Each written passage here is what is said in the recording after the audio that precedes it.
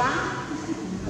Questo è il quarto e ultimo appuntamento di questa serie di incontri che sono stati organizzati dal, dall'Istituto Comprensivo, ringraziamo il dirigente di qua oggi, e coordinata dalla professoressa Donatella Galli e in collaborazione con il Comune di Mondavio, con il Comune di Terreno Meresche e cioè, oggi l'assessore Lucia Possibile. abbiamo affrontato quattro argomenti molto importanti con quattro anche relatori eh, molto validi e hanno espresso eh, no, concetti molto eh, che fanno comunque riflettere eh, su varie tematiche ma tutte importanti allo stesso livello. Questa sera affrontiamo un argomento molto molto importante che ci eh, coinvolge un po' tutti, i ragazzi ma anche noi adulti, mi rendo conto che spesso capita che se noi dobbiamo dare l'esempio ai nostri figli, capita spesso che questo esempio con l'uso dei dispositivi magari non non lo diamo. E quindi ringrazio la relatrice di questa sera, la professoressa Raffaella eh, Maggi e lascio la parola al dirigente scolastico e vi ringrazio ancora per la vostra presenza.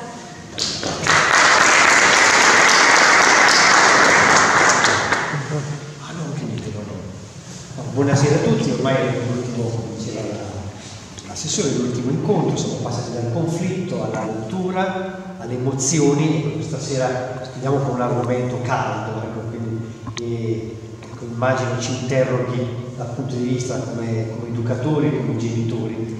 E penso sia ecco, stato anche interessante la formulazione di questo incontro, perché ecco, non è semplicemente, non discutiamo di tecnologie, pro e contro, ormai è un argomento superato perché ci siamo dentro, siamo immersi ormai nella tecnologia. Si tratta piuttosto di passare dal piano diciamo, ideologico, quello del preconcetto oppure della, del sospetto, al piano della, della, scienza, della riflessione, della discussione, del dialogo. Perché ecco, qua dobbiamo fare i conti. Ecco, penso che i nostri ragazzi, ecco, noi a scuola in questi ultimi anni siamo siamo riempiti di tecnologia, arrivano computer, tablet, televisioni, di tutto e di più. Ecco, eh, stiamo iniziando con i ragazzi a ragionare proprio sul digitale, parliamo di educazione digitale, parliamo di consapevolezza. Ecco, penso sia importante questo incontro e altri spero che ne seguiranno perché i nostri ragazzi hanno bisogno di guida, hanno bisogno di indicazioni chiare, precise. Ecco, qua noi siamo gli adulti e anche qua dobbiamo dare loro indicazioni precise e dare loro una chiave di interpretazione. Quindi ecco, spero che questo sia uno dei, dei tanti incontri ecco, di dialogo perché siamo noi a fare la differenza. Quindi ecco, grazie per essere venuti ecco, e lascio la parola alla professoressa Gani per una breve introduzione e grazie ancora all'amministrazione e alla professoressa Maggi. Grazie. Buonasera a tutti, sì, ringrazio diciamo, da parte insomma, anche mia e della scuola quindi in generale per aver trovato il coraggio di uscire di casa, non è sempre facile dopo la giornata di lavoro che tutti abbiamo alle spalle e per trovarci qui appunto con quest'ultimo eh, incontro. Eh, questa sera abbiamo con noi appunto la professoressa eh, Fela Maggi di cui brevemente illustro il curriculum. È una insegnante a tempo indeterminato, pedagogista membro dell'Unione Italiana Pedagogisti, formatrice consulente per docenti, esperta per screening sugli um, studi specifici dell'apprendimento e potremo continuare con un elenco molto lungo perché il suo curriculum è, diciamo, è iniziato nel 2010 ed è costituito da 17 pagine, quindi saremo un'esperta eh, un'esperta di spessore. Insomma. E, um, la sua diciamo, professionalità si è arricchita di esperienze, di incarichi, di studi all'interno della scuola e anche presso enti e istituzioni che si occupano di istruzione e formazione, l'ufficio scolastico regionale, l'ambito territoriale e diversi istituti scolastici.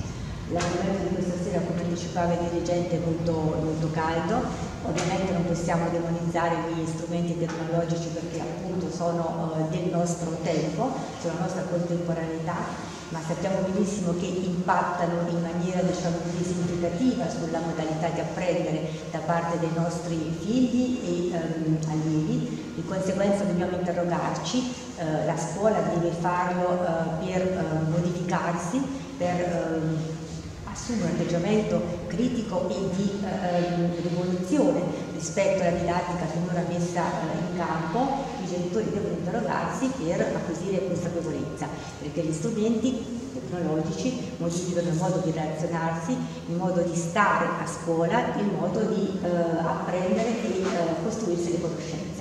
Per questo questa, questa sera siamo qui per avere qualche informazione e qualche strumento in più per padroneggiare questo argomento così complesso ma così attuale. E quindi lascio la parola alla professoressa Maggi. Grazie. Grazie. Grazie innanzitutto eh, al dirigente scolastico che in collaborazione con le due amministrazioni delle roveresche di Mondavio mi hanno ospitato. Ringrazio anche la professoressa Galli, eh, non ci conoscevamo ma eh, è nata anche no, una sorta di eh, collaborazione, ci siamo confrontati, per cui la tematica che andrò insomma, ad affrontare con voi questa sera è stata un po' eh, studiata insieme, no? perché sia come aveva ha appena accennato il dirigente scolastico ma anche la professoressa, oramai comunque viviamo in un'era digitale, no? ma anche in una società complessa in cui comunque dobbiamo fare i conti. Possiamo essere no, eh, contrari, eh, ostativi rispetto all'utilizzo eh, dell'informatica, dei computer, dei tablet, eccetera, ma dall'altra parte dobbiamo tenerne conto perché comunque anche noi oramai siamo super connessi e non possiamo no, alcune volte fare a meno di quali sono poi i paletti. Eh, io oggi ho preparato diciamo, diverse slide che faranno un po' da filo conduttore, tante insomma saranno così anche eh, scorse perché effettivamente, ma era per avere un po' un'idea generale di quello che è accaduto nella nostra società, ma quello che sta accadendo magari anche ai nostri figli, anche per effetto di alcuni anni pandemici inaspettati che indubbiamente hanno condizionato tantissimo eh, i rapporti sociali, hanno condizionato tantissimo le relazioni tra gli adolescenti, tra i bambini, onde per cui in realtà noi ci ritroviamo spesso, anche e soprattutto diciamo, nel mondo della scuola, a dover un po' tamponare queste criticità che sono nate in questi diciamo, due o tre anni, che sono stati tragici no? eh, nella società in generale, ma sono stati tragici per i loro vissuti anche per molti bambini e molti ragazzi e adolescenti.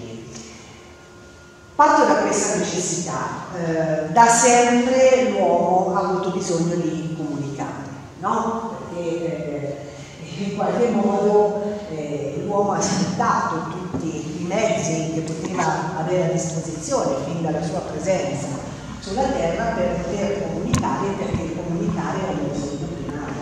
Mm? È un bisogno che in qualche modo deriva da una necessità di mettersi in relazione con gli altri ma anche per esprimere i propri sentimenti, per esprimere le proprie idee, per esprimere anche i suoi pensieri in generale. E tornerò su questo concetto di pensiero, perché il pensiero è una delle funzioni cognitive mm, che al momento su alcuni ragazzi oserei dire leggermente compromesso. A volte eh, le mie colleghe ridono perché forse ritorneremo a quei livelli lì, perché McLuhan ci aveva già dato no? eh, in passato nei suoi scritti dei segnali premonitori, così come George Orwell, no? ci aveva un po' del grande fratello, eccetera. A volte ecco, queste sono situazioni un po' anche catastrofiche, diciamo così, ma stiamo attenti soprattutto per quei ragazzi che sono molto deboli. Quindi ecco, diciamo che mh, il fatto di comunicare, che nasce proprio come esigenza dell'uomo, è stato oggetto di studio, di diversi approcci di studio da parte di teorici, di studiosi ed è un argomento molto ampio sul quale sostanzialmente ancora oggi noi ci interroghiamo, no? soprattutto tante discipline, a partire no, da discipline come la linguistica, la matematica, l'informatica, la cibernetica, ma anche la pedagogia, proprio perché dobbiamo capire quale relazione intercorre tra le persone attraverso una comunicazione più efficace che molto spesso non è solo una comunicazione verbale, hm? ma a volte anche una comunicazione non verbale determinata anche per esempio dalla prossemica. Voi direte, ma questa perché stasera ci una risulta, no? Questa comunicazione ce lo sappiamo. E il problema è proprio lì. Ma oggi i nostri ragazzi comunicano a casa. Hm?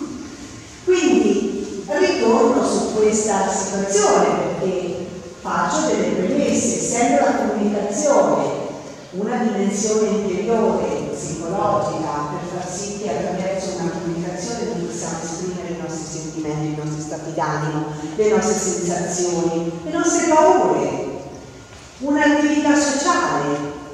Chi no, nel lavoro non comunica, non esprime il proprio pensiero, a volte anche c'è una negoziazione no, di conoscenza proprio nell'ottica di una co-costruzione sociale della conoscenza.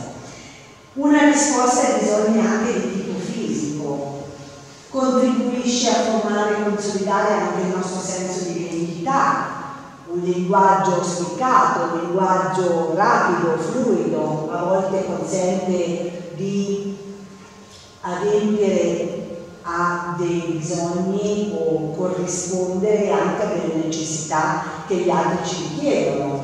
È un'attività prevalentemente cognitiva, prima vi ho detto, è una funzione cognitiva importante che però va esercitata. Nelle nostre aule noi sentiamo molto spesso lo so ma non te lo so dire.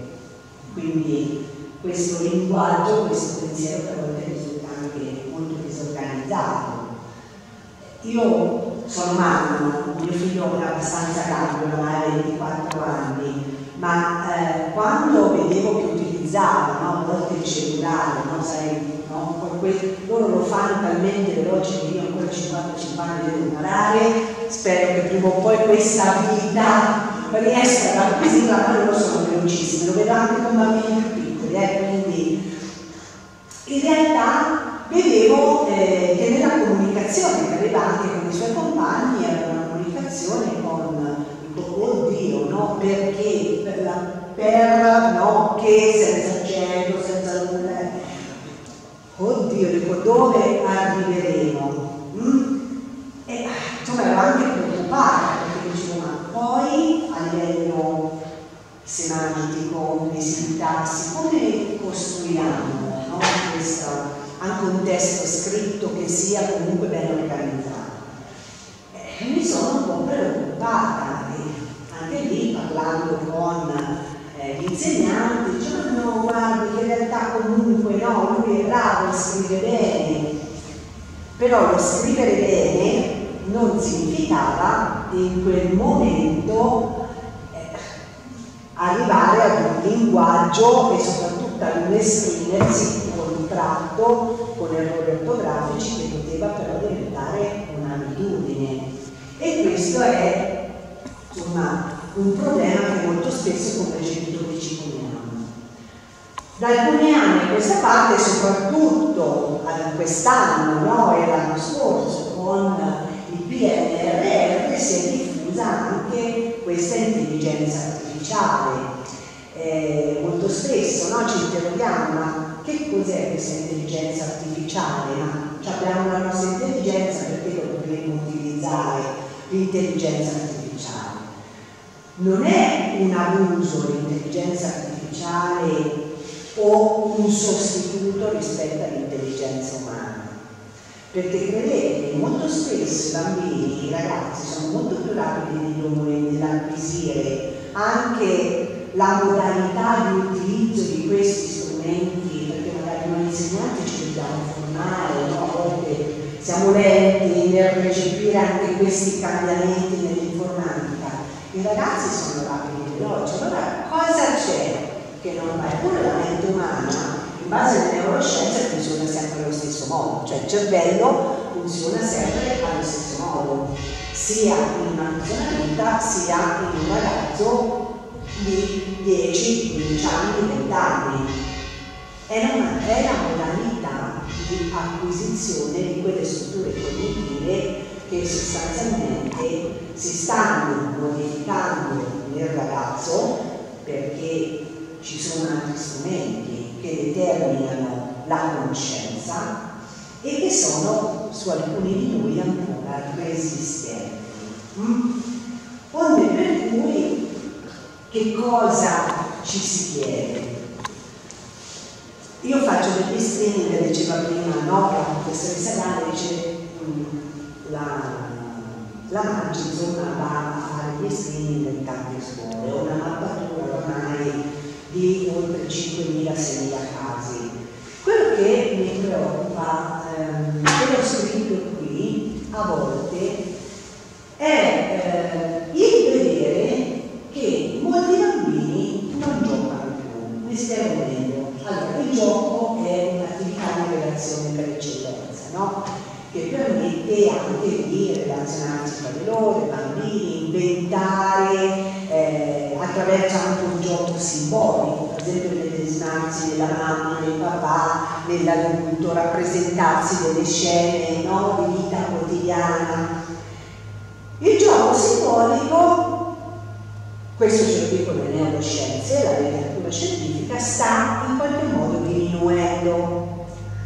Allora io realtà il gioco è quel volano che consente comunque un primo approccio anche all'apprendimento.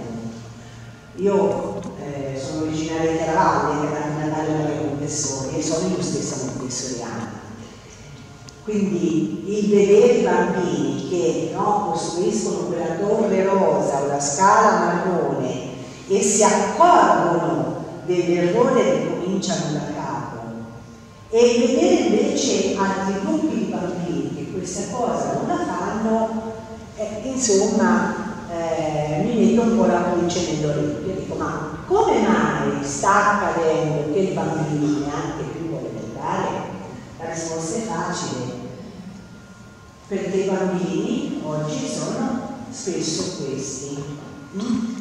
Io non credo alla dicitura, ve lo dico subito, nativi digitali, perché i bambini non nascono con il telefono in mano o le strutture neurocorticali formate in base al tablet, il computer e il cellulare. E non è neanche colpa loro di questo, perché ve l'ho messo in una slide successiva. In realtà la colpa è il vedere perché il modello siamo noi.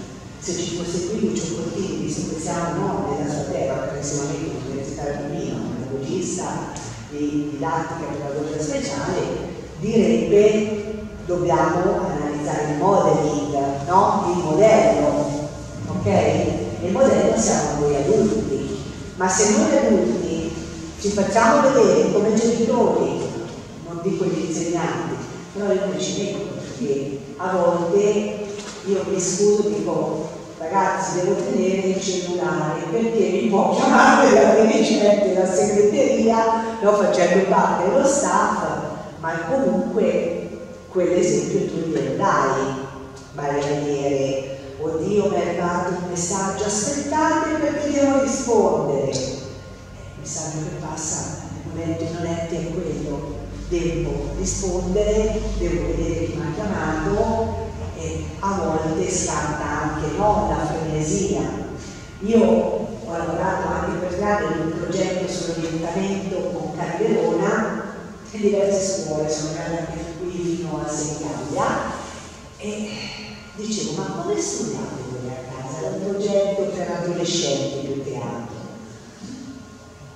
Di guardare, siate liberi no, di parlare e narrare la cosa che eh, univa, che conosciuto univa tutti gli studenti era avere sempre il cellulare no, lì presente e rispondere magari se compagni cosa hai fatto, eh, come fatto quell'esercizio, hai studiato te lo dai, non lo conosciamo. Quindi, vedete, anche a volte quando noi parliamo di attenzione allo studio, concentrazione, eh, no, c'è.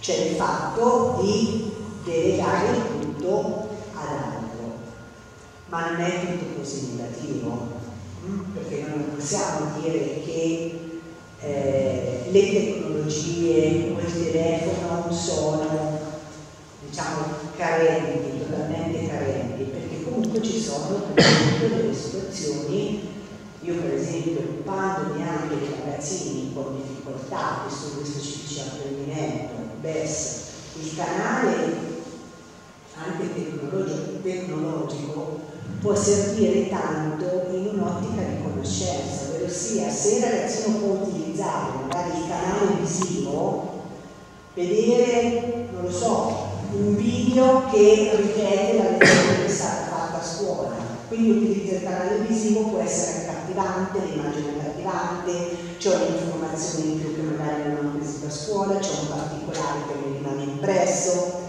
Quindi, per esempio, anche avere all'interno delle classi, le, adesso le IMA non esistono più, no, ormai è tutto bypassato, ma abbiamo ormai un computer enorme no? che riflette e possiamo utilizzare all'interno della classe per poter dare l'opportunità a tutti, perché comunque la scuola deve garantire il cosiddetto successo formativo a tutti, in qualsiasi momento utilizzando tutte le strategie possibili e immaginabili. Quindi è la modalità di utilizzo che dovrebbe cambiare e come possiamo sostanzialmente noi aiutare questi ragazzi a utilizzare in modo corretto. Ma non perché non sappiano fare. Io adesso lancio un po' così una sfida, perché mi veniva da sorridere quando si diceva dobbiamo imparare ragazzi no, a utilizzare le tecnologie, ma non sono molto più bravi di noi. Non è il saper fare, è il saper utilizzare in modo corretto. Perché io ad esempio insegno in una classe quarta, primaria, ho messo i bambini davanti al computer tra Canva, PowerPoint, Prisi e quant'altro, hanno fatto degli elaborati splendidi. Ho fatto questa sperimentazione senza dire nulla loro. Si sono messi insieme. Dico, ma tu guarda questi come no, in poco tempo. Ecco perché dobbiamo invece canalizzare su che cosa può essere utile per l'apprendimento, un apprendimento che anche attraverso l'utilizzo no, di alcuni strumenti come il computer no, o il tablet potrebbe essere anche cooperativo, perché è interessante anche questo, dove c'è anche un interagire. Io lo utilizzo molto in questo modo, no, il computer. Mettiamoci a lavorare insieme, facciamo questo lavoro di gruppo, che deve essere un risultato finale, un artefatto finale, ma non iniziale. E quell'artefatto nasce dalla negoziazione, dalla conoscenza di tutti, dallo scambio di informazioni, da un brainstorming, che cosa sai tu rispetto a, da un confronto, da un ideale o da un progettare. Quindi, vedete, sto cercando di eh, far capire che non tutto è negativo, anche perché comunque, torno a ribadire, la premessa è oramai in questa società della complessità le tecnologie ci sono, non possiamo più farne a meno. Io per prima, dicevo prima, no, la professionalità salari oggi sono andati in crisi perché eh, è andato in tilt il computer, telefonato al supporto tecnico ho detto guarda cerca di no, tirare fuori più memoria possibile, nel senso salvami più documenti possibili perché altrimenti dico sono disperata. Mi fa, ma ogni tanto non scarichi eh, sì, qualcosa sì, ma qualcosa no, perché non c'hai mai tempo. Però ecco, per, per fortuna che in qualche modo ogni tanto qualche pennetta qualcosa ha iniziato. Gli adolescenti, questo è un abuso negativo, TikTok, no, le foto, eh, quindi quali sviluppi possono dare? Vedete, ho messo proprio quell'immagine sotto, che è po' preoccupante, perché quando vado in giro vedo questi ragazzi magari seduti, ecco, che sta il cellulare, quella che si fa la foto, eh, quell'altro no? che eh, cerca magari l'informazione. Quindi c'è una sorta di distanziamento sociale, perdita del senso anche di cosa è reale. Vi dirò nel proseguo anche che cosa sto notando come pedagogista, anche dal confronto e dallo scambio delle informazioni che mi derivano dai genitori. Mio figlio non vuole più andare a fare sport, mio figlio non esce di casa. Beh, che fa dentro casa? sta in cameretta sua e sta con il cellulare. Eh, poi scende quando lo chiamiamo per l'ora di cena, ma non scende subito. E allora lo dobbiamo richiamare tre volte. Ma il sabato e la domenica come occupa il suo tempo? Ma prova a chiamare qualche amico, ma però non riesce a uscire perché quello è un altro impegno, poi non è così contento, dico allora sta a casa. E a casa come occupa il tempo? Stanno davanti al cellulare. Sì, poi vedi proprio i sintomi dissociativi. Questi sto, vi sto dicendo di dati preoccupanti, eh? non tutti per fortuna sono così. Obesità, davanti al cellulare, mangio, sapete quante volte i genitori mi dicono trovo le carte delle verdurine dentro i cassetti, trovo le carte cioccolatini nascosti in mezzo eh, ai libri, trovo eh, i pacchetti di patatine, dico ma in camera, dice sì signore in camera, e lo fa anche di pensare, disturbi del cuore, eh, io sono un po' vecchietta, no? Allora, nel 2002 erano usciti i primi giochi elettronici Game Boy, non so se qualcuno di voi. Allora, io avevo un alunno, guarda primaria, sempre stato ragazzino bravissimo, studioso, a modo. Con la collega ci eravamo accorti a un certo periodo che non ascoltava, era assente, eh, studiava poco, esce fuori che per la comunione aveva ricevuto questo Gherpoli, ma l'uso che faceva non era un uso so, un'ora al giorno, mezz'ora al giorno, perché poi anche studi delle neuroscienze ci sono anche delle linee guida che dicono che al di sotto dei sei anni massimo un'ora davanti al computer, davanti alla televisione, davanti a un quindi delle indicazioni scientifiche ci sono. Questo ragazzino faceva così, tornava a casa alle 16.30 perché stava ad un tempo pieno, si metteva subito davanti alle due perché il papà e la mamma tornavano alle 19 di sera, dopo cena mi nascosto ai genitori perché poi si sono accorti i genitori, lui lo prendeva e si metteva sotto le coperte, continuava fino a non si sa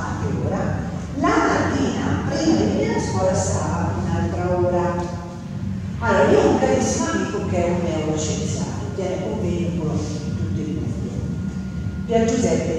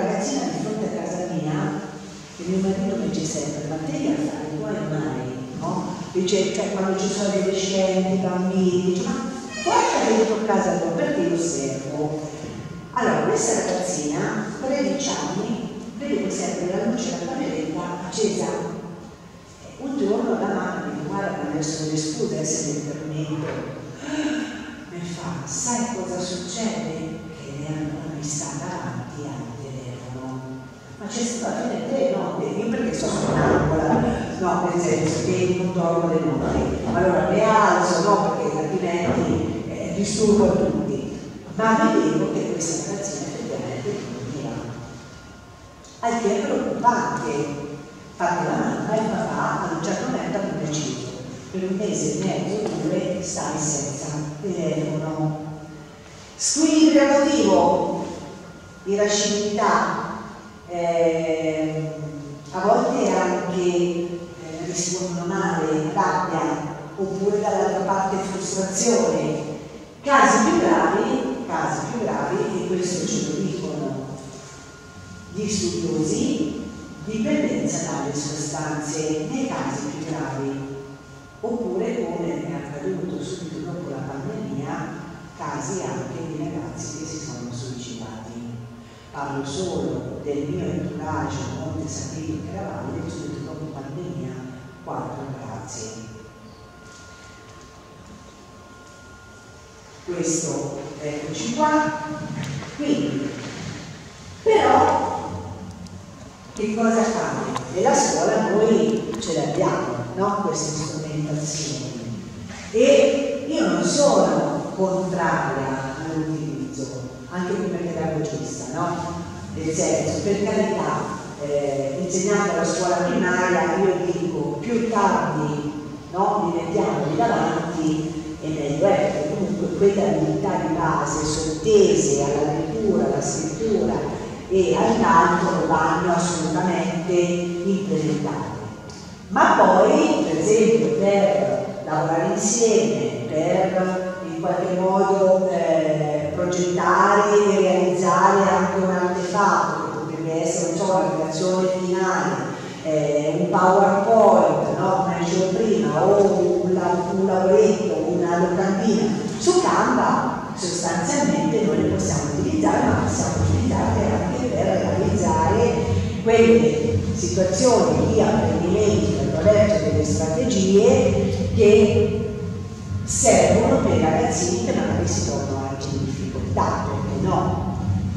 Quindi è dal 2006 che l'Unione Europea ha inserito le competenze digitali e le ha rinnovate anche nel 2018 proprio perché oramai la sfida più grande è proprio questa, cioè noi siamo entrati all'interno di nuovi paradigmi educativi, perché comunque lo studente che esce dalla scuola secondaria secondo grado deve essere anche uno studente competente, che sa lavorare in squadra, che sa avere un pensiero critico, che riesce anche a lavorare simultaneamente all'interno anche delle grandi aziende per realizzare dei prodotti in modo anche abbastanza veloce, onde per cui l'utilizzo no, di anche alcune eh, hardware che sono importanti rispetto ai lavori specifici, lo studente le deve saper fare. Onde per cui la realtà è questa, perché per esempio l'Italia ha ratificato immediatamente no, all'interno della scuola attraverso le indicazioni nazionali per il curricolo, eh, una prima edizione era del 2007, che era un po' un cantiere aperto, no? eh, si era chiesta anche agli insegnanti, e parenti, io faccio parte del gruppo tecnico scientifico relativo a questa, come posso dire, eh, implementazione eh, di nuove modalità di insegnamento ma diffusione delle indicazioni nazionali, dove comunque si parla di modalità di apprendimento significativo. Cosa significa apprendimento significativo? È un apprendimento che per lo studente ha senso. Allora, a volte, no, io vedo anche i colleghi, senza ci sono i colleghi a scuola secondaria e secondo grado, non me ne vogliate, eh? ma lo sto sperimentando perché eh, quest'anno sono anche mentor alle scuole secondarie e secondo grado come pedagogista e a volte questi ragazzi fanno mamma mia che sciarpato, che noia, eh, stamattina la professoressa mi ha spiegato due pagine dico sì ma hai visto un video? no ma te ce l'hai ma andiamo a vedere no, qualche cosa, soprattutto dei ragazzi, come dicevo prima, che fanno difficoltà a memorizzare, quei ragazzi che fanno difficoltà a pianificare una resocontazione orale rispetto all'argomento, che fanno difficoltà anche a memorizzare eh, so, delle formule di chimica, delle formule di fisica, magari invece attraverso no, un video, perché poi ci sono anche fatti molto bene da insegnanti no, che eh, ogni tanto si cimentano, poi durante la pandemia abbiamo imparato a utilizzare di tutto di più, quindi ci siamo, non dico divertiti, eh, perché durante la pandemia è stato un lavoro talmente faticoso che lavoravamo forse il triplo rispetto alla quotidianità, però eh, anche per noi è stato veramente uno stimolo, cioè dove c'era magari una resistenza da parte di eh, insegnanti, ma resistenza non dico perché non lo voglio utilizzare, ma resistenza perché non erano in grado di farlo. Però è stata una modalità per mettersi anche in gioco, per imparare ed è stato uno stimolo dall'altra parte anche per quei bambini, quei ragazzi, quegli studenti vedere una didattica, chiamiamola veramente innovativa, non più trasmissiva, ma una didattica dove si poteva veramente interagire. Perché interagire è fondamentale, ritorno a prima, noi comunicare e interagire. Si può con le tecnologie? Sì, ma non su Whatsapp con perché, ma si può interagire in altre modalità. Noi per esempio nelle scuole abbiamo le nostre classroom, no? Ma le classroom se le possono costruire anche i ragazzi. Ho dato questo input in una scuola secondaria con un gruppo di ragazzi, ho detto ma perché avete costruito una classe dove magari uno di voi lancia, no? lancia una tematica, eh, organizziamo un sabato sera diverso, provatevi a mettere delle idee no? questa piattaforma dove veramente costruite la conoscenza insieme. Cosa possiamo fare? Noi possiamo andare eh, che idea lanciate? Dico cercando però di scrivere con l'italiano corretto, non utilizzate il vostro linguaggio. È stato un esperimento che sostanzialmente è piaciuto. Oh, sai cosa che però ci ha dato un'idea? Va bene, ce ne sono tante, no, però cercate di no, in qualche modo implementarla o soprattutto ripeterla anche in contesti diversi da quello che è stato sperimentale.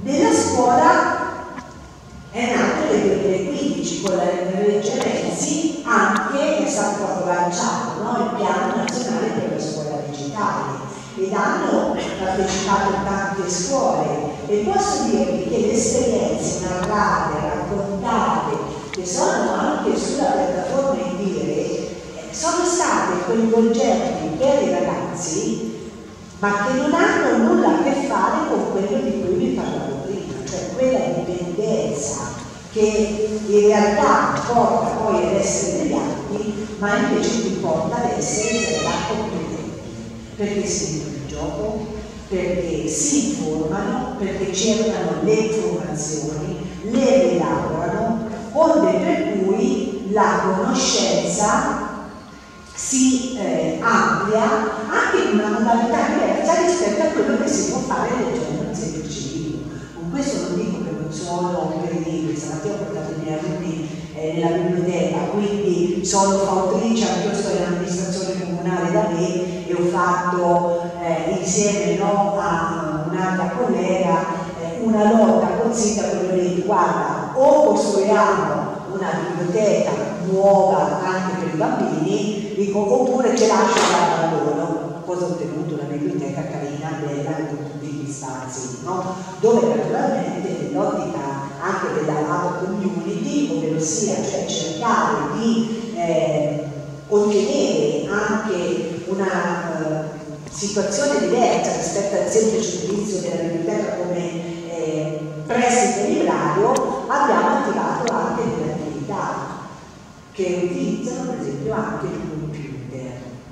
Però vi posso dire che la frequenza dei bambini, dei ragazzi del mio paesino, no? Montesarvino, che ha 3.500 abitanti piccolino e nulla, però è incrementata nel tempo. Se avessimo ragionato solo con il vecchio libro, sarebbe stata forse disfunzionale, no? cioè non avrebbe funzionato. Quindi vedete che il piano nazionale per la scuola digitale ha uh, un po' avuto proprio questo obiettivo di eh, sfruttare il potenziale offerto dalle nuove tecnologie ma anche diffondere proprio questa idea di apprendimento permanente e implementare anche questo concetto di ambiente di apprendimento non solo come spazio fisico, no? ma anche come spazio di negoziazione della conoscenza, uno spazio che nel tempo, anche per effetto dei denari che ci sono arrivati dal Ministero, adesso anche dal PNRR, abbiamo potuto rendere no, anche abbastanza accattivante per i nostri studenti all'interno scuole. Uno dice vabbè, a volte no, abbiamo anche degli ambienti, eh, insomma non so, non conosco le realtà delle scuole, però quando vado nelle città qualcuno dice sì ma abbiamo le aule brutte, ambienti e eh, poi abbiamo tutte queste tecnologie. Capisco anche questo, perché naturalmente nelle grandi città, eh, nelle capitali, nell'area per esempio a Napoli, eh, c'è giustamente dei colleghi che ci parlano qui bene, il divanetto e non abbiamo le aule che sostanzialmente sono ancora da risistemare.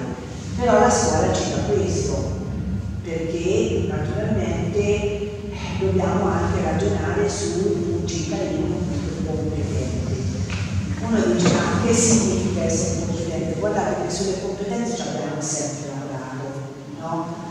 Eh, questo discorso delle competenze nasce nel 2006 con le raccomandazioni europee, ma in realtà chi è che problemi della scuola, il collega 92 che insegna a scuola, vi posso dire che abbiamo sempre lavorato sull'implementazione di queste, chiamiamole super abilità per gli studenti, che possono essere trasmesse e eh, replicabili in contesti anche diversi. Poi è stato dare competenza, che non ha una capacità, una capacità, è che i nostri ragazzi di oggi forse sono stati anche un po' troppo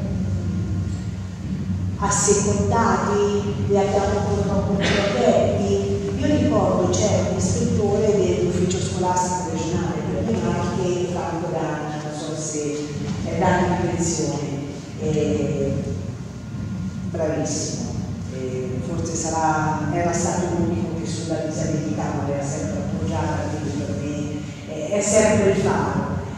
E lui diceva proprio questo, no? Dice dobbiamo effettivamente tener conto dei cambiamenti della società, ma senza perdere come obiettivo finale che tipo di ragazzo io voglio, no? voglio che si formi per questa società, cioè anche qui la politica no, deve entrare in carico e dire ma tra 10 e 20 anni quale offerta alternativa io darò rispetto ad oggi?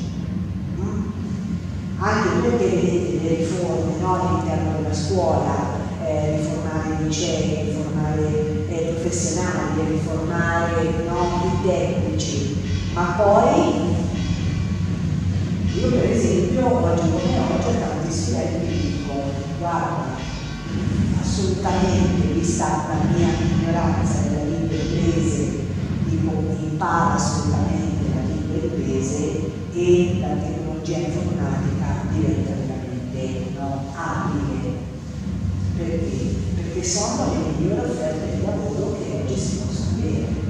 Quindi quando vedo questi bambini, anche i miei alunni, che sono così bravi no, nel muoversi, nel realizzare eh, degli artefatti, come dicevo prima, anche una semplice locandina di un elenco, in una modalità originale, dico, però subentrano, la creatività, il pensiero divergente, la pianificazione, la ideazione, la progettazione, e non è un apprendimento?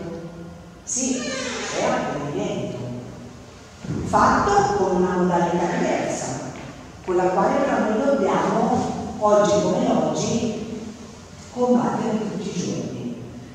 Le azioni previste sono queste, quindi l'accesso spaziale per l'apprendimento, eccetera, eccetera, non sto qui insomma a spiegarvi tutto eh, il piano digitale, ma questo ci ha dato l'opportunità anche di inserire una didattica diversa all'interno della scuola, che però è sempre una, eh, come posso dire, una implementazione del pensiero delle funzioni cognitive dello studente, perché se io penso al coding, no? che è pianificare, come arrivare a, non è quel semplice robottino, non è solo quello, la pixel art, che è organizzazione, è pensiero, realizzazione, portare le creazioni delle acque, questo naturalmente per le scuole secondarie di secondo grado.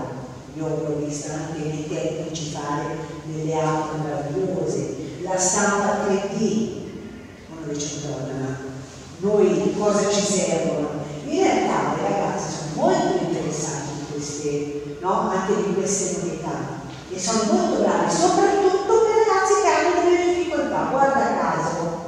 Quindi è una modalità per poter implementare le abilità sottese, è una modalità per rendere quell'apprendimento significativo per loro, è una modalità per attivare anche la resilienza rispetto all'apprendimento, perché molto spesso gli studenti si annoiano, c'è da dire anche questo.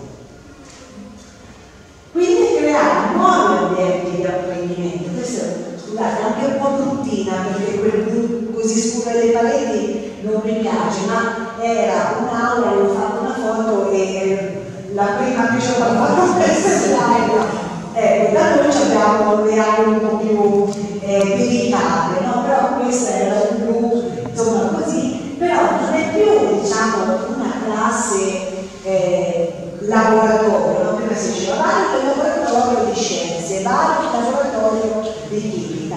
Adesso diventa proprio una classe laboratorio, nel senso che all'interno delle nostre classi noi abbiamo a disposizione le tecnologie, abbiamo a disposizione no? anche eh, degli ambienti costruiti dove c'è anche, perché l'occhio nella sua parte, io dico anche questo, il bambino che va in una classe no, anche colorata, parlo di più piccoli, eh, una classe colorata con dei banchi, no?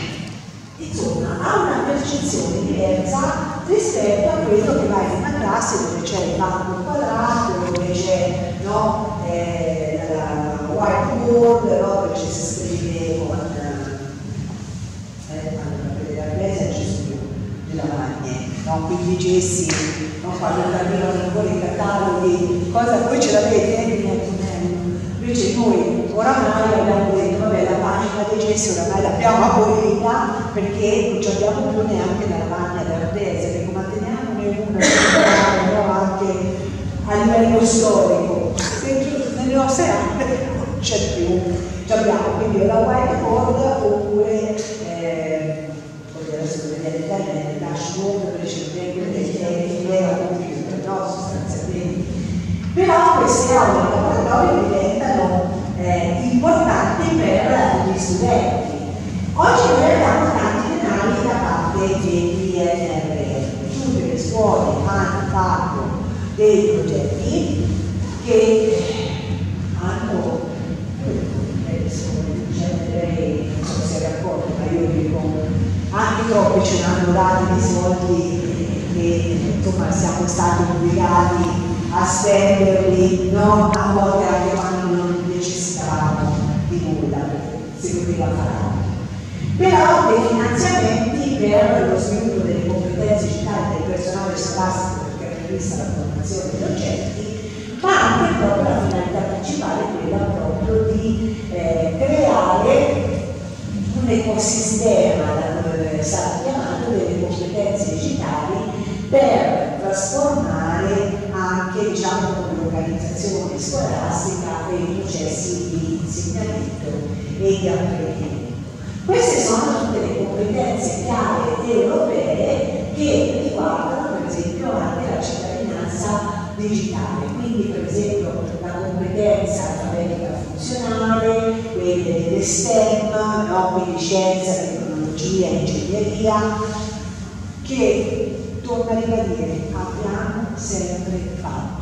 Nelle nostre classi l'abbiamo sempre fatto, ma se uno va a vedere l'ha fatto anche all'esterno, il genitore che fa lavorare no? anche il proprio bambino, non so, io vedo mio marito che eh, costruiva con mio figlio l'arco di legno no? con le frecce, quella non è ingegneria, non è ideare, pianificare, cercare il materiale adatto, quindi però è stato dato no? un nome.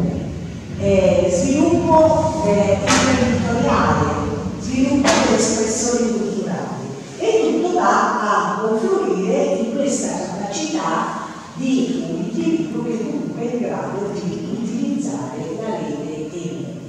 Quindi noi siamo passati nella storia, adesso qui la faccio breve però sarebbe stato interessante, da una società dell'informazione, vi ricordate Carosello, no? i più giovani no, ma io me lo ricordo, quindi eh, tv, giornali, radio, che ci danno delle informazioni no? eh, che io ricordo anche piacevolmente, eh, a invece diciamo delle, così, delle informazioni oggi che sono più rapide, più veloci, vado avanti, eh? quindi, quindi eh, come posso dire, eh, oggi sostanzialmente riusciamo rispetto accaduto che avviene dall'altra parte del mondo in modalità rapida. All'epoca noi non lo sapevamo, no? subito lo sapevamo, non so, eh, al telegiornale, quindi vedete anche il fatto di seguire il telegiornale. Oggi quando parli ai ragazzini, hai sentito il telegiornale? Perché cos'è?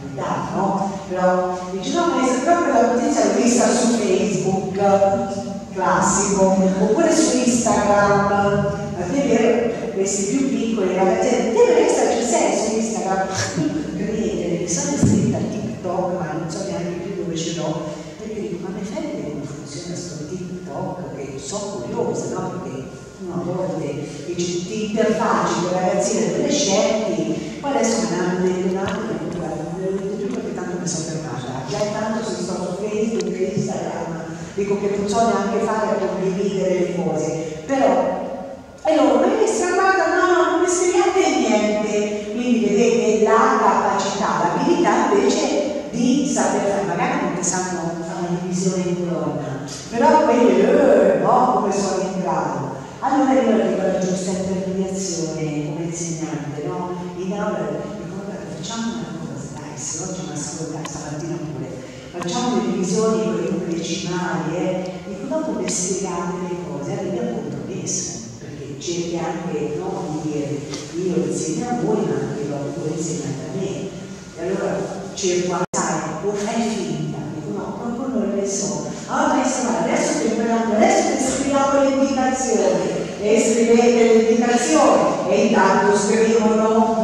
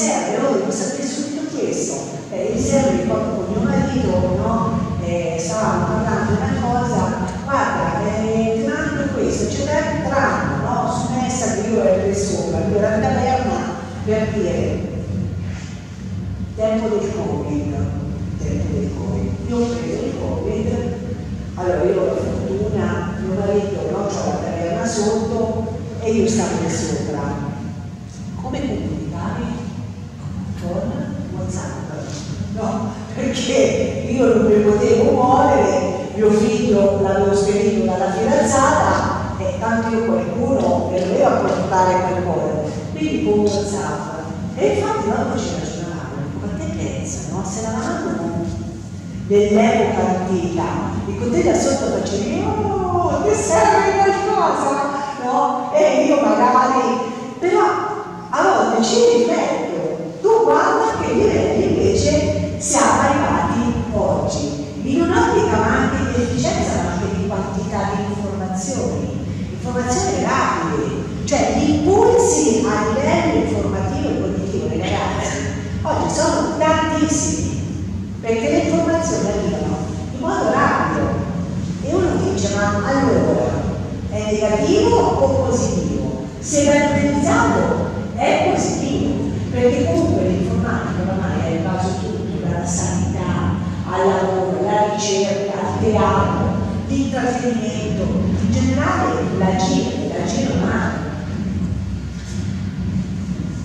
E siamo arrivati a questo, alla società della conoscenza, una conoscenza, ripeto, rapida, dove il mio collega che lavora nella multinazionale che sta a Tokyo sa quello che faccio magari in Italia. E come? Come tutti i giorni. Quindi, no? Però, però, accade, a mio avviso, che l'informazione della persona fa la conoscenza. Cioè è lì che noi dobbiamo puntare, sia come insegnanti che come genitori. Cioè l'informazione deve essere qualcosa che passa da me. Ah, l'ho letto su Facebook. No, perché l'intermediazione è il pensiero della persona. Allora, le cosiddette fake news, perché i ragazzi ci parlano spesso sulle fake news, come riconoscerle? Per esempio, tutti gli incontri che si fanno nelle scuole, no? anche con esperti, che vanno a spiegare, tu con la tua mente devi saper scegliere, devi saper indagare, indugiare su quelle informazioni e informarti per capire se sono informazioni vere o sono informazioni false. Cioè, quando io vedo per esempio dei ragazzi che fanno delle ricette su Wikipedia, allora andiamo a capire cos'è Wikipedia, perché ti dicono di non andare a prendere le informazioni su Wikipedia. Chi è che c'è dietro? Come posso fare invece una ricerca che mi è stata chiesta magari dall'insegnante e portarla con informazioni in realtà corrette? Come posso ricercare le informazioni? Perché anche quella è una competenza, saper ricercare le informazioni in modo corretto. Quindi vedete, informare è facile, ma formare diventa difficile. Perché? Perché l'apprendimento non è qualcosa di rapido. Eh? Per apprendere ci vogliono gli automatismi, i cosiddetti automatismi, onde per cui per conoscere mi servono delle informazioni che vanno filtrate, che vanno decodificate, che si vanno anche a innescare su informazioni pregresse e che quindi si avvera l'opportunità di dire ok, questo va bene, quest'altra cosa assolutamente è una diceria. Non è la cosa corretta che mi serve per poter realizzare un'informazione. Le ultime ricerche dell'Università e Studi di Cocca hanno evidenziato questa cosa.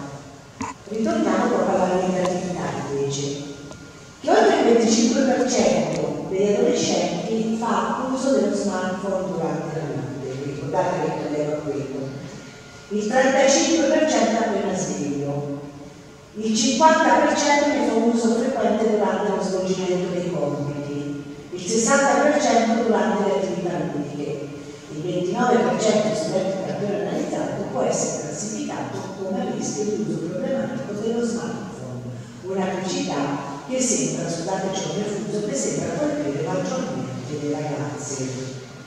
Perché ho voluto mettere questa slide? Oltre a una ricerca che comunque è stata fatta dall'università, non tra le migliori d'Italia, perché eh, anche questo dato che le ragazze sono maggiormente coinvolte rispetto magari ai ragazzi, vi lascia pensare.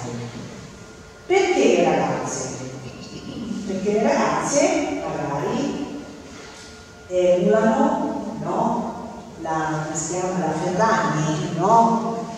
emulano certi stili di vita, emulano quelle no? eh, come si chiamano, influencer che per loro sono le migliori. Il ragazzo, tutto sommato, no? ne potesse fregare meno, magari conosce il calciatore, ma finisce lì. I ragazzi più che altro chattano tra di loro, e vanno a guardare qualche informazione, vanno a vedere su Instagram, ma quello che è preoccupante invece è quest'altra, quest'altra panoramica.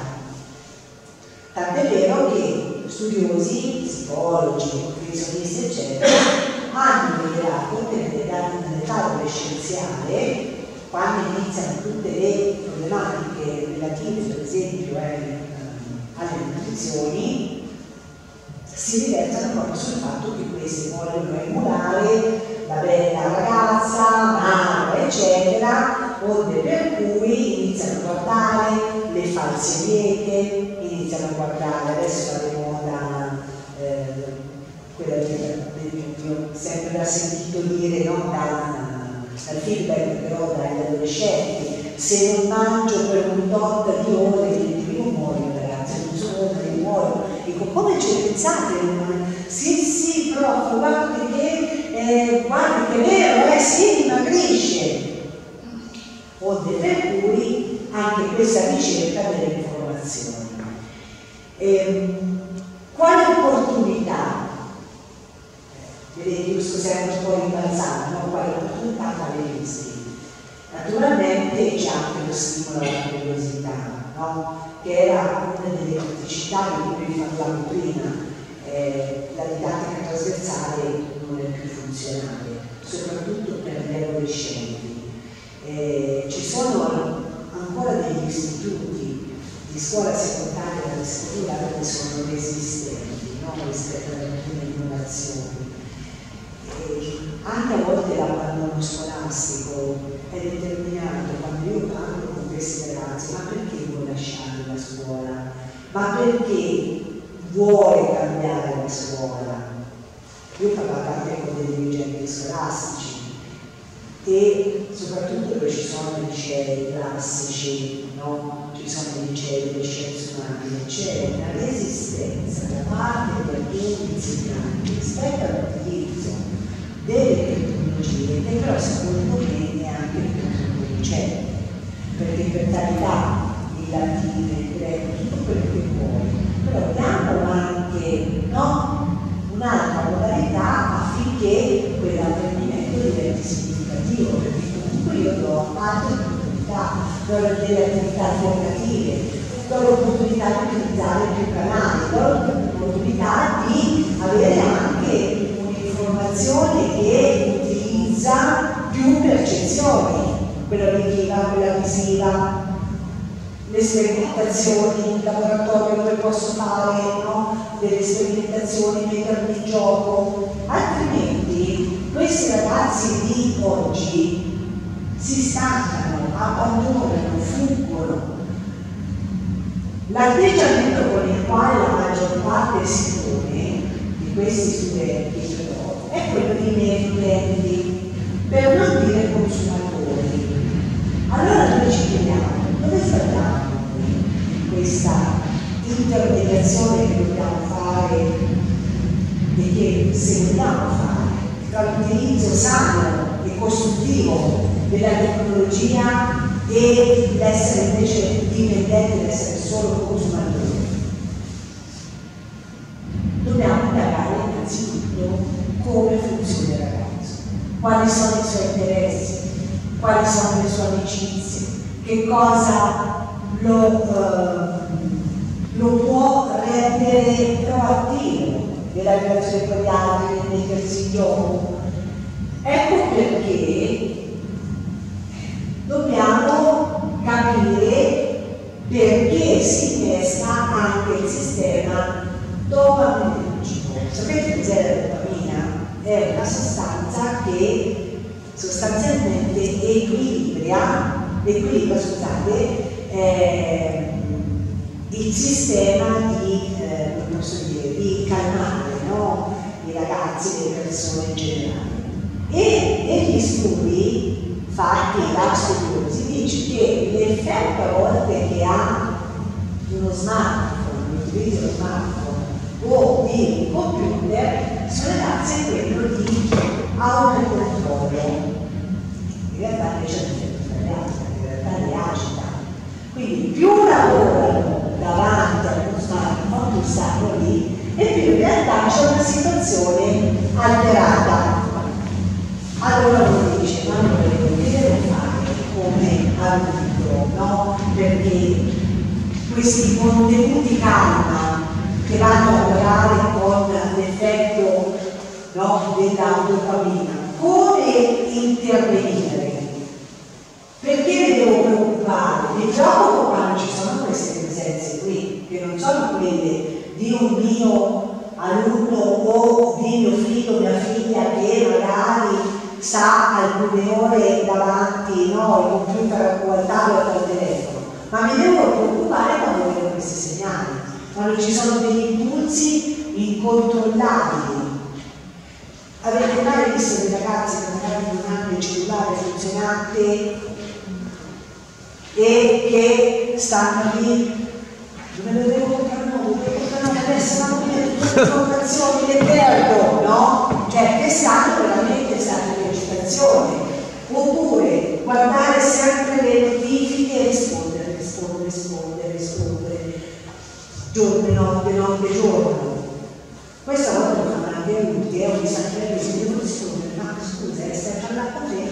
Cosa rispondi? Cerchiamo lì atteggiamenti simili all'astinenza, presenza di liquidezza, ansie, sonne, inappetenza, agitazione, irritabilità, abbandono della solita routine, quello che vi dicevo prima, sport, chiacchierare con amici, mancanza quasi totale di attenzione e concentrazione. E questo ce ne rendiamo conto anche noi che lavoriamo all'interno della scuola.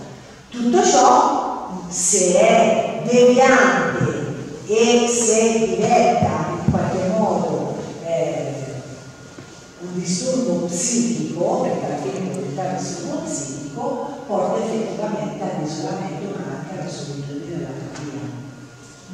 E molti ragazzi, guardate che oggi eh, molti studenti dei 16, 17, 18 anni soffrono di depressione.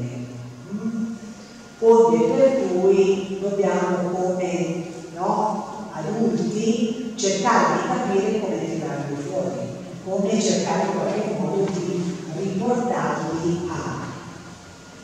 Eh, perché comunque c'è una sorta di ristrutturazione no? cognitiva a livello di conoscenza, perché eh, effettivamente eh, i ragazzi di oggi non si metteranno mai davanti a un libro leggere o a scrivere no, una lettera epistolare.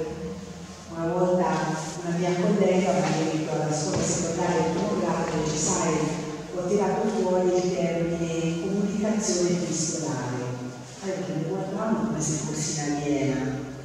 Ho detto allora che cosa hai fatto? Allora mi ho messo in mano un foglio di carta e ho detto scrivete un piccolo pensiero. Io pensavo piccolo, ho detto ma che fosse costituito da due o tre parole detto non me lo sarei aspettato il pensiero. Quindi, però la colpa è nostra, scusate se lo dico, perché vi capita mai di andare al ristorante e vedere una coppia anche giovane dei genitori, il figlio sta lì, lei sta al cellulare, il marito sta al cellulare, no? Allora, quel bambino, questa è una bambina con una testa di accumulata, che cosa impara da questi due genitori? A non dialogare, a non dare risposte, a non esprimere emozioni, a non raccontare. Spesso per questo vengono i genitori che non racconta niente, non racconta niente, lei cosa fa? Ah, ma io so che a volte sono in fretta, eh. Dico, ma devo pensare che non avere il tempo e la pazienza.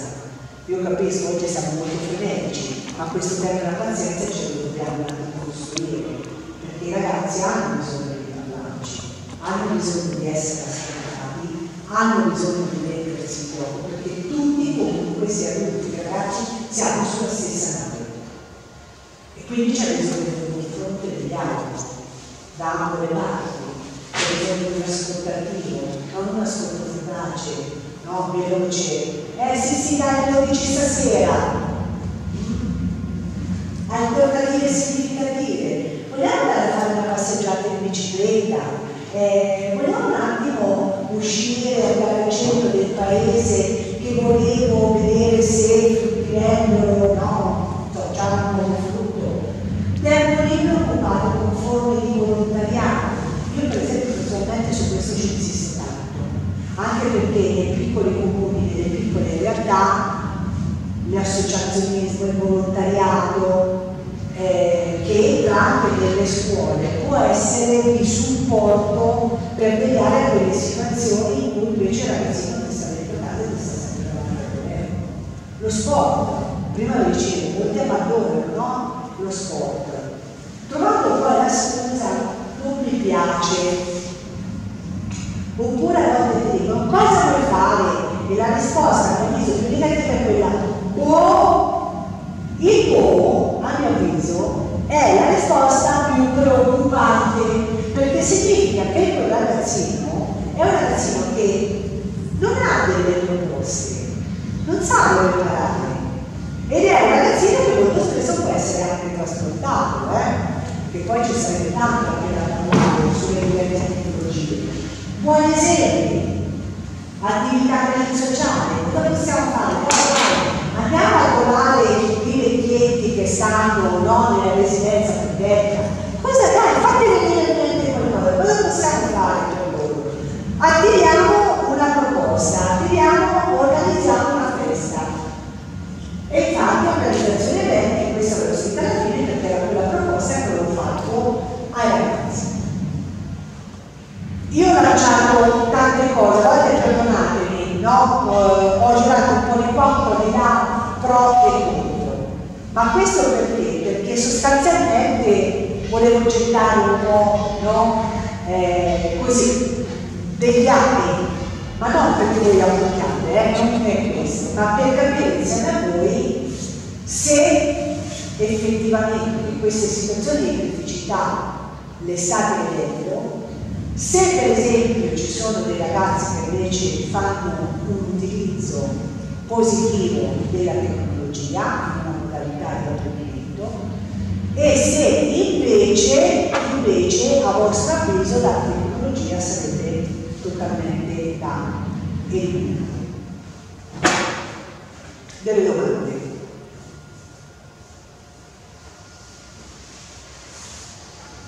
Stop. Dica. A quale età consiglia di dare il cellulare? Ecco, allora, anche lì, no? Adesso è il periodo delle comunioni, no? non so da dove è il periodo delle comunioni. Giustamente, come lei è il genitore, ecco, e i genitori mi chiedono, a quale età? Allora, quando mio figlio fa a fare una comunione, faceva la quarta primaria, io ho avuto degli amici che hanno voluto regalargli il cellulare. Quindi lui aveva 9 anni e mezzo, 10. Allora, potrebbe essere anche un'età alta, eh? nel senso che l'importante è farvi capire come utilizzare quel mezzo. Questo è importante, ecco perché io dico, eh, scusate, questa è l'ultima, dico, cioè ascolto attivo, ma anche una comunicazione attiva, dove il genitore comunque dà dei suggerimenti, guarda, allora, per andare a scuola non ti serve. Papà e mamma sono contenti se tu magari, quando, so, sei la nonna o sei allo sport, eccetera, eh, lo tieni nello zainetto e magari, non so, devi andare a qualche parte con un tuo amico, ci chiami, oppure noi chiamiamo a te.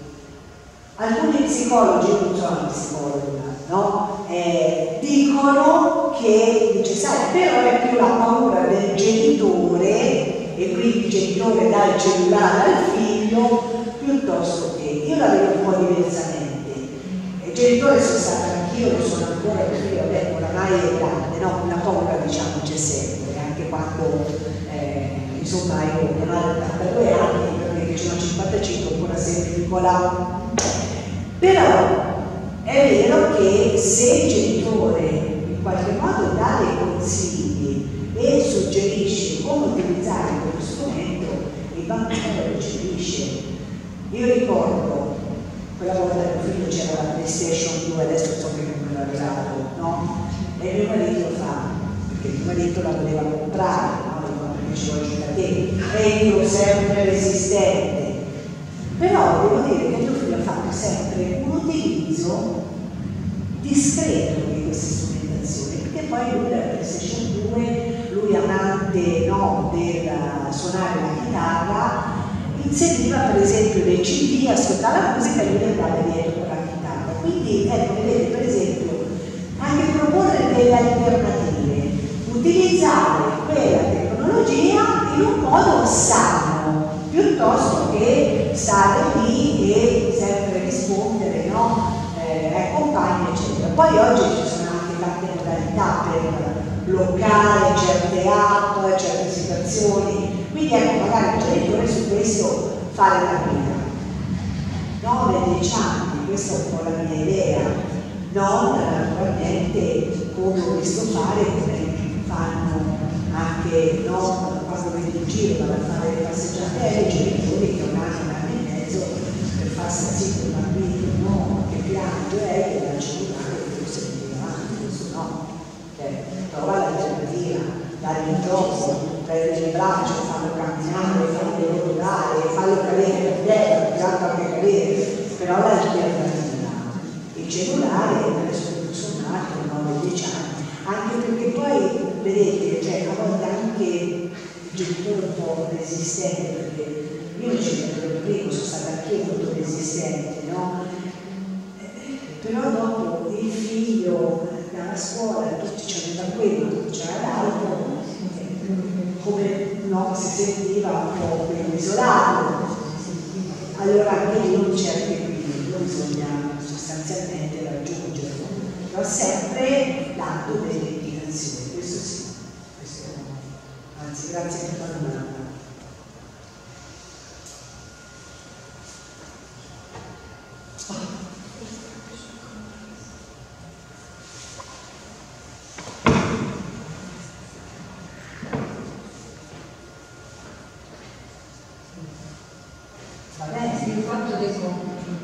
te dicevi il cellulare per compiti, che adesso il diario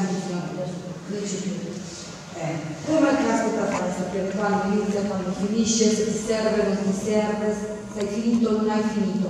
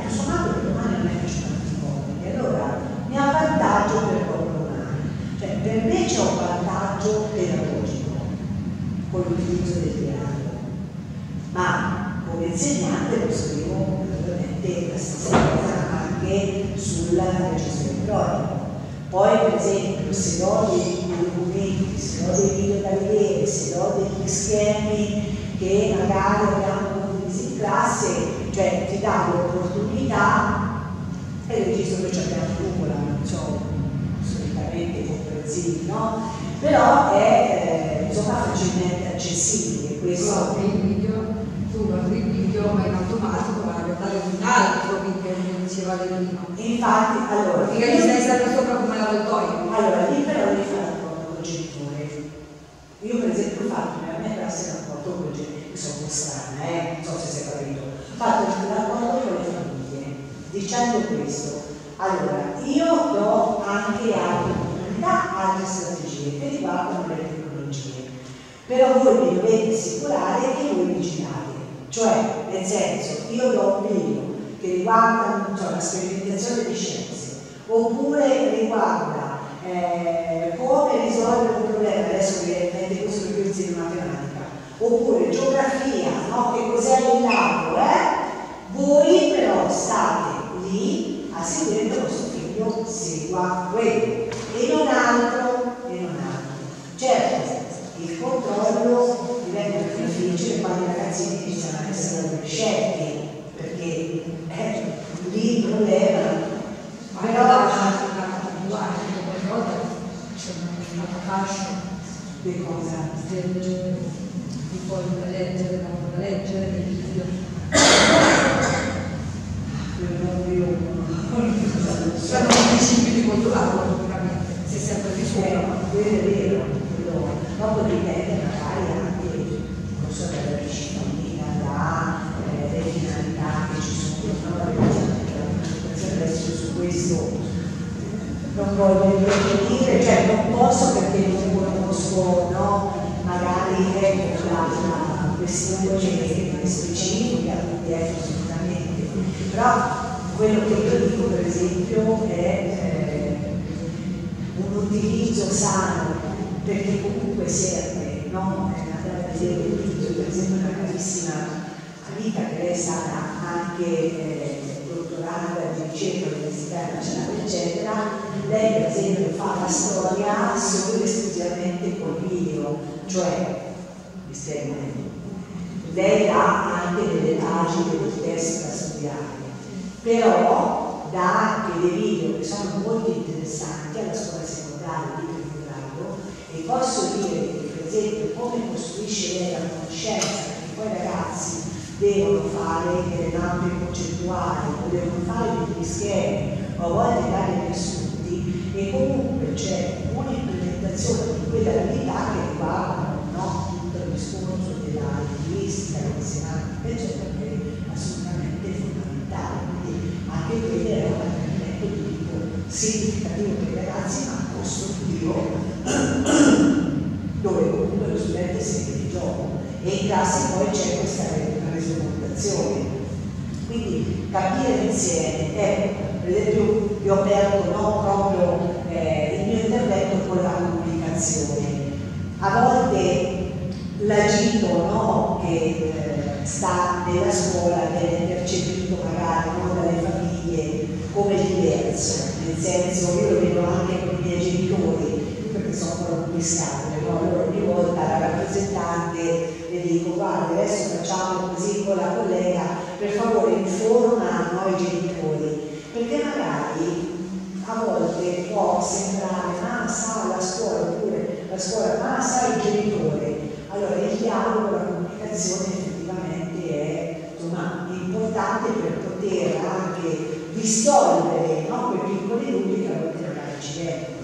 Il fatto che oggi si utilizza tanto anche quest'altro canale, no, l'opportunità a tutti quei ragazzi, ma soprattutto io vedo quelli che hanno anche delle difficoltà per memorizzare con più facilità, perché vedere un video, sentirsi raccontare, rimane un impresso. Certi usano anche i film, io ho un carissimo amico eh, che insegna nell'istituto di seminare, lui ha detto lui è appassionato di film e conosce non si sa quanti, ha fatto anche tanti corsi e dice io utilizzo i film per raccontare la storia, però rimangono, cioè i canali che noi possiamo utilizzare sono tanti, perché non utilizzarli? No? Cioè, per carità io sono carta e penna, quello no, le abilità soprattutto alla primaria, però è anche vero che dobbiamo tenere conto anche di tante altre realtà che comunque oggi noi abbiamo una società talmente complessa dove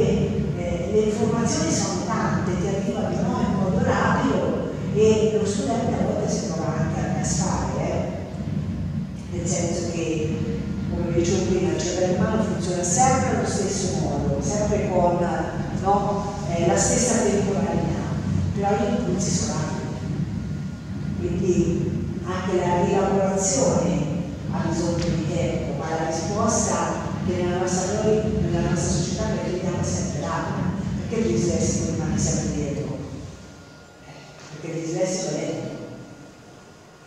Io mi sono ritrovata disprassica da grande da questo figlio dislessico, io lo scoperto da grande perché quando ero no, piccola io, poi però ho se io non avessi implementato tutte le mie abilità, non avessi lavorato, oggi forse sarei veramente fuori dal mondo. Ecco perché io vi proteggo. Diamo l'opportunità, perché allora quello riesce a utilizzare altri canali che magari no? con la spiegazione sempre eh, frontale o leggere pagine e pagine non ci arrivano. Quindi vedete, no? C'è sempre un po' questa sorta di dire funzionale o non funzionale. Allora in realtà no, può essere no, la tecnologia un grande supporto per tante situazioni. Io lavorando anche con la disabilità, ho detto molte volte, per fortuna che c'è la tecnologia, altrimenti molte disfunzionalità non potrebbero no, essere messe in situazione invece di funzionamento. Pertanto, vero?